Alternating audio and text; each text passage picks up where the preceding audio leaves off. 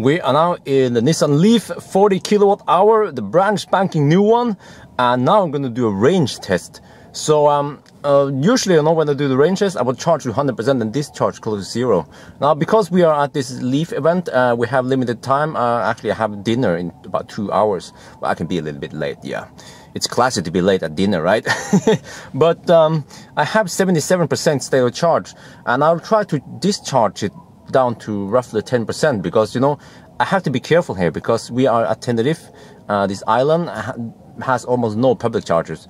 And there's like one CHAdeMO charger on the east side of the like this island and um, so I have to be careful don't run out of juice and just kind of like drive back and forth on the motorway. Uh, I will do um, an eco run where I will probably cruise at around well it will say uh, 90 kilometers per hour on the speedometer but it's around 85 kilometers per hour. I will still have like you know uh, heater or whatever you know uh, air conditioning on, uh, but you know, try to run this as equal as possible. I mean, equal as possible. But the temperature here is uh, plus 17 degrees Celsius. Uh, it is dry outside, but very windy. So um, yeah, let's do this. I want to know how much range you can get, like best case yeah best case real world yeah. Uh norway run uh i can do that later maybe in norway or something but now i want to try the the eco run to see how it can go. But i cannot do another 100 percent discharge. I have to discharge whatever i dare to do and then uh, estimate the rest based on that. So yes let's go then. Okay 77 percent. Eco mode is on. Uh, let me reset uh, the trip meter. All right, let's roll. Well, this place is actually pretty cool. It's called it's called ITER. In uh, yeah, this is the it's this like cool facility where they uh, you know try to showcase um, renewable energy and how you know we can live our life. Oh yeah, we are cruising now on the motorway, and I have um, ProPilot activated so let me show you here. That is the blue icon. Adaptive cruise control is on, yes. Uh, consumption is kind of high because uh, we are fighting the headwind right now. But we will drive back and forth, so there will be, you know, yeah, we'll even out for that, and we will end up on the same spot we started. So it's going to take a while because we'll try to drive it close to zero. Yeah. Oh, we have really strong wind here. The wind always strong here. We've been here two days, and um, but you know what? The wind is uh, coming slightly from the side.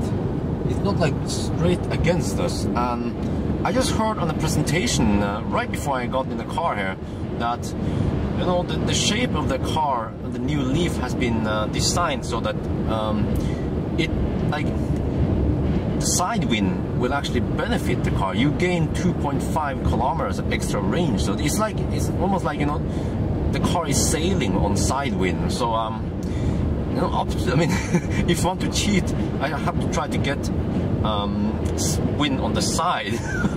that is like the weirdest shit ever. Oh yeah, but let me see, how are we looking now so far? Uh, we have done 30 kilometers and um, average is uh, 17.5 or 175 watt per kilometer. And we have gained we have consumed 16 percent. So um, I estimated that we, we have to drive about 150 kilometers. So this is gonna take a while we have turned back and now we are heading back south again. Uh, take a little route over there but I think we still have to go a little bit back and forth but I didn't want to go too far north because then we're getting close to a city with more traffic.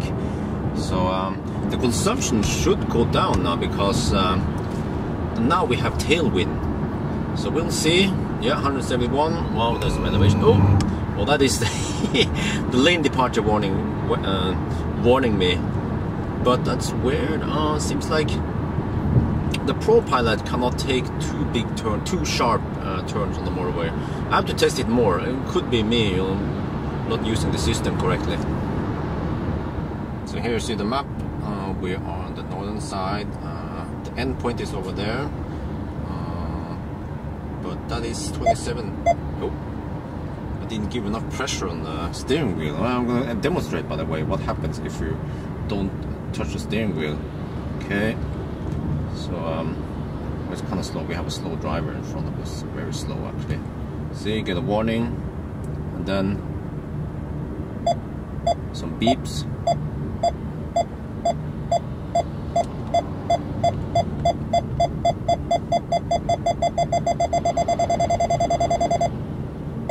Oh, okay, a little a little bump there. All right, let's uh, let's not try it here. I'm gonna try it later.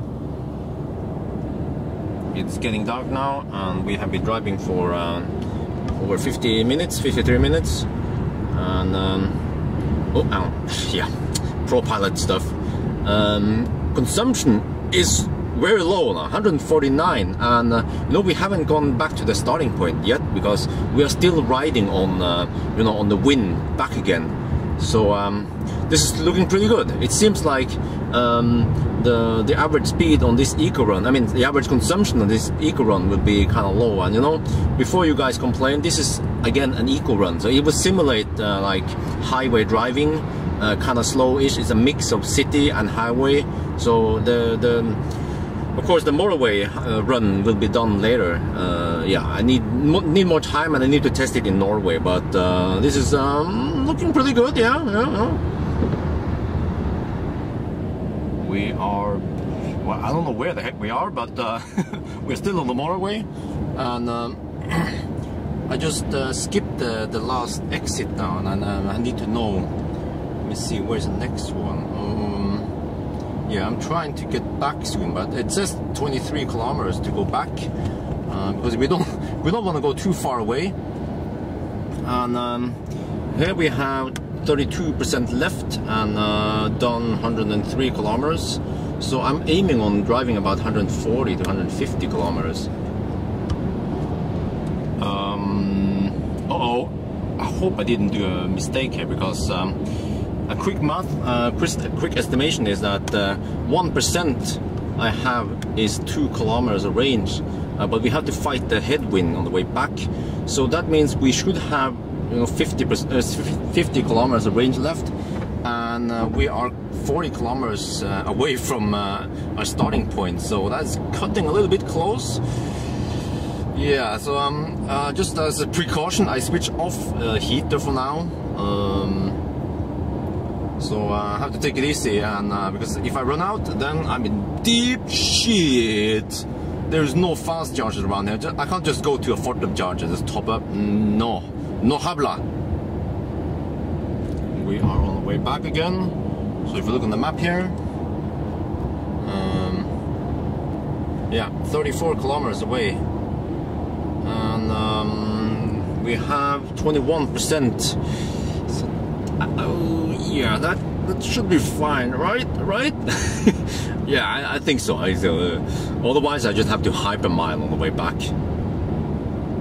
Ooh, well, great news. Um, you know, I had 21% when I turn around, and now we have 19%, but we have, well, we have traveled a lot. Well, we traveled a lot, so uh, it seems like the turning point was at some high elevation, and then from there we uh, kind of coasted down uh, with regen and stuff.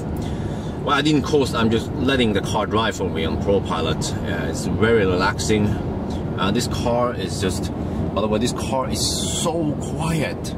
Like the soundproofing. I saw also presentation uh, uh, Nissan had.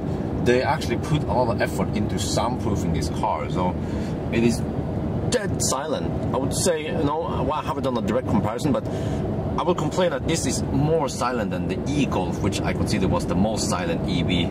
Yeah, and of course more silent than uh, Tesla, Model X, uh, S. Mm, not sure, but it is just very silent. You have to experience it yourself.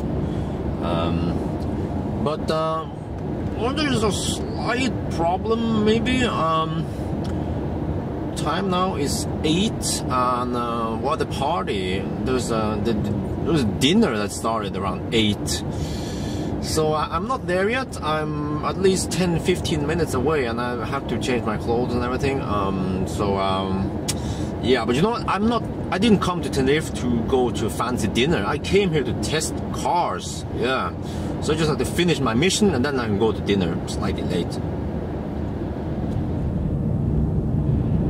is it. We are almost there. Just one kilometer left. And uh, the Nissan Leaf is equipped with automatic high beam. Yeah, you just switch that off and on, on and off for me. So uh, LED headlights, Ooh, finally. And the old one had well, halogen lights, uh, not xenon lights. So uh, almost there. And let me see. Well, I should do a test with the headlights also. Hmm, but okay, let's do a quick test now. Uh, uh, okay, well, it's it's being tricked by some kind of light over there. Come on. Yeah. All right, but uh, let's park and uh, crunch some numbers. Finally, we are back at the starting point. So um, we have consumed 63% and uh, we can do an estimation of the range based on that. And the consumption was actually 137 watt hour per kilometer. That is very low considering that, you know, we had some terrain and stuff here. But um, these guys, they need the car back, so I have to be quick.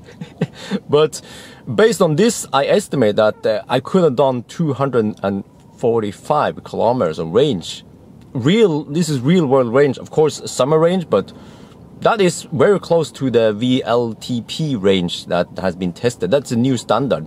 So that's 270 so this is 245 very close. Good stuff. Yeah so um yes all right i'm gonna pack now pack my stuff and um, go back I mean, go to the party. So uh, that's it for now then. Bye bye